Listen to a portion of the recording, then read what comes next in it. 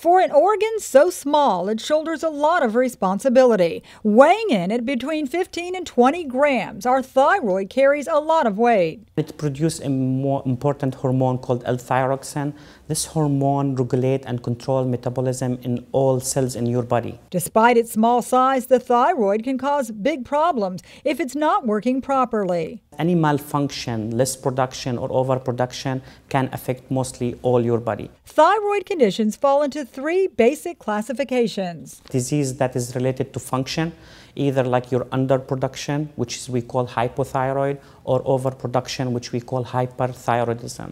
And also uh, problems that is related to size, so we call it goiter, or cancer that affect thyroid gland, and there is some inflammatory disease that affect the thyroid. One of the more perplexing aspects of a thyroid disorder is recognizing it. Although they come with a long list of symptoms, people are slow to connect them. Graves' disease, which is caused by overproduction of hormones, can actually alter the appearance. You will start losing weight regardless of your appetite, and also you have changes in your hair and skin Um, you will have like heat intolerance, excessive sweating, and the most common things that people know also Graves' disease affect the eye, so their eyeball will produce. Most common in women, Graves' disease is controlled by destroying the thyroid's function. Doctors can manage most conditions once they get a handle on where the thyroid went wrong. For Lee Memorial Health System, I'm Amy Osher.